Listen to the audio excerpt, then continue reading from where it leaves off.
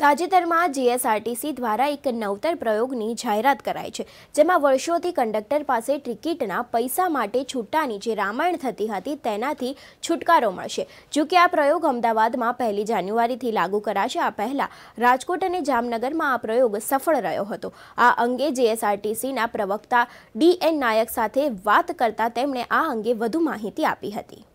GSRTC Gujarat state road transport corporation, જેને આપણે ટૂંકમાં એસટી તરીકે ઓળખીએ છીએ.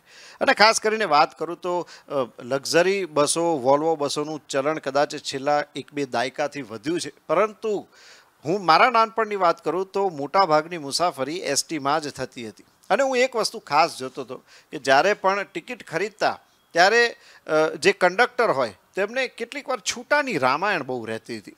પરંતુ એસટીએ આટલા વર્ષો બાદ પણ એક બહુ મહત્ત્વનો નિર્ણય લીધો છે કે હવે એસટીમાં પણ યુપીઆઈ દ્વારા જે છે પેમેન્ટ કરવામાં આવશે. આમ ટેકનોલોજીનો યુઝ હવે એસટી પણ કરવા જઈ રહી છે અને તેનાથી કદાચ આવતા, આવનારા સમયમાં છૂટાની જે રામાયણ છે તે મટી જશે. અમારી સાથે નાયક સાહેબ જોડાયા છે એસટી કોર્પોરેશનમાંથી. નાયક સાહેબ, આપનું સ્વાગત છે.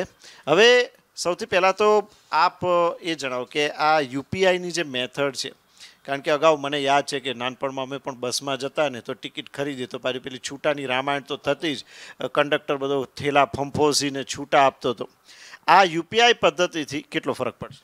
જી, આપ સૌ જાણો છો કે માન્ય વડાપ્રધાન શ્રી આજે સમગ્ર ભારતને ડિજિટાઇઝેશન તરફ વાળવા પ્રયત્ન કરી રહેલ છે અને એમાં ગુજરાતમાં આપના યંગ અને ડાયનેમિક એવા આપણા અમારા ગૃહમંત્રી શ્રી અને જેમની પાસે વાહન વ્યવહાર ખાતું છે એવા માનનીય હર્ષભાઈ સંઘવી સાહેબની પ્રેરણાથી અને અમારા મેનેજિંગ ડિરેક્ટર શ્રી સાહેબના માર્ગદર્શનથી અમે ગુજરાત રાજ્ય એસટી નિગમ દ્વારા છેલ્લા બે માસથી આજે આપે પ્રશ્ન કર્યો કે છૂટા પૈસાની માથાકૂટ, ખાસ કરીને કોઈ કેસ લઈને નીકળ્યું હોય કે ના નીકળ્યું હોય, અત્યારે ડિજિટલાઇઝેશન તરફ સમગ્ર યંગ જનરેશન વળેલ છે ત્યારે અમે પ્રાયોગિક ધોરણે જામનગર રાજકોટ અને જુનાગઢ છેલ્લા દોઢ બે માસથી આ પ્રયત્ન કરેલો હતો. એમાં અમને ખૂબ સફળતા મળી.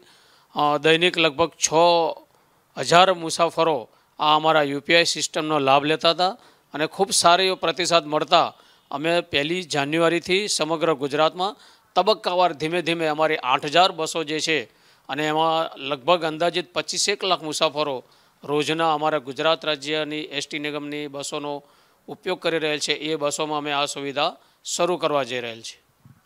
અચ્છા, નાયક સાહેબ જો વાત કરવામાં આવે, તમે કીધું કે હાલ તો રાજકોટ અને જામનગરમાં પ્રાયોગિક ધોરણે શરૂ કર્યું હતું ને જે કહી શકાય કે તેનું જે પરિણામ છે, બહુ જ સારું સામે આવ્યું છે. યંગ જનરેશન અત્યારે બસમાં મુસાફરી કરે છે અને યુપીઆઈ સિસ્ટમ દ્વારા એમને ઘણી સરળતા રહી છે.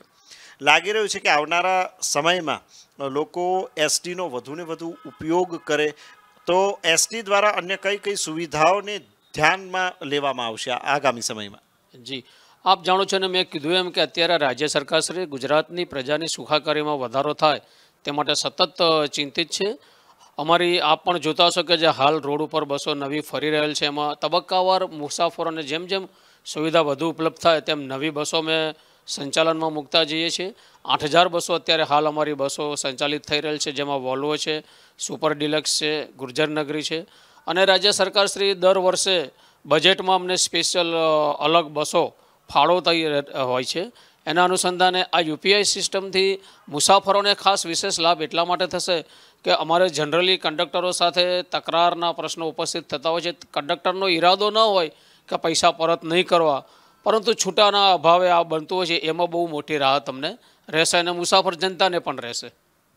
બિલકુલ સર તો છેલ્લે તમે જે દર્શક મિત્રોને ખાસ કરીને હવે ખાનગી વાહનોનું ચલણ ઘણું વધ્યું છે તો લોકો એસટીનો વધુ ઉપયોગ કરે તેવો કોઈ સંદેશ આપ આપી શકશો? જી ચોક્કસ સરકાર શ્રી જ્યારે આપણા માટે સતત ચિંતિત હોય ને આપણી સુખાકારી સુવિધામાં વધારો થતો હોય બીજું કે એસટી નિગમ એ સમયબદ્ધ અમારી ચાલતી એક સેવા છે કદાચ તમે જોતા હશો કે તમે સીસીની બસ કેજ્યુઅલ કોન્ટ્રાક્ટની બાંધી હશે, તો ઘણા કડવા એવા અનુભવ થતા હોય છે કે તમે જો પ્રાઇવેટ બસો બાંધી હોય તો તમે સમય આપ્યો હોય, સમયે લગભગ ના આવતી હોય.